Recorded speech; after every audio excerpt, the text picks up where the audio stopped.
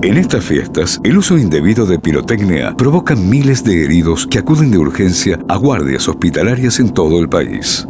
Por otra parte, el estruendo de dichos explosivos causa pánico y diferentes traumas en los animales domésticos, quienes, en algunos casos, se escapan de sus hogares. Por eso, el regalo para estas fiestas es uno solo. 17 maneras distintas de perder los dedos sin hacer ruido. El nuevo libro de Blanca Curi. Sí, Blanca Curi enumera y describe de una manera entretenida y descontracturada diferentes formas de arruinarte la vida sin provocar estruendo alguno a tu alrededor. Repasemos algunos ejemplos.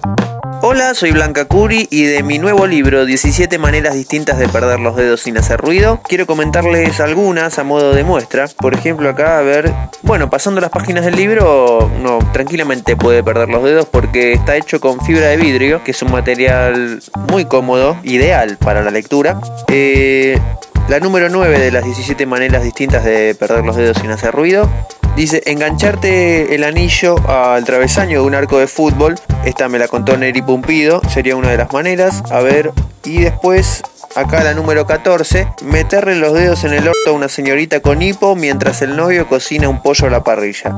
Son algunas, son 17, es un libro que me gustaría que lo lean porque concientiza. Y para cerrar quiero leerle de la carta de lectores que me llega a blancacuri.starmedia.com una pregunta que dice, Blanca, si estás sola en un bosque y te cortas los dedos con un hacha y gritas, pero no hay nadie para escucharlo, ¿hace ruido? Bueno, es un poco filosófica esta pregunta, ¿no? Yo creo que es debatible, así que te mando un besito. A ustedes también, busquen mi libro en todas las librerías del país. Adiós. 824 páginas a todo color para aprender, reflexionar y educar a los demás.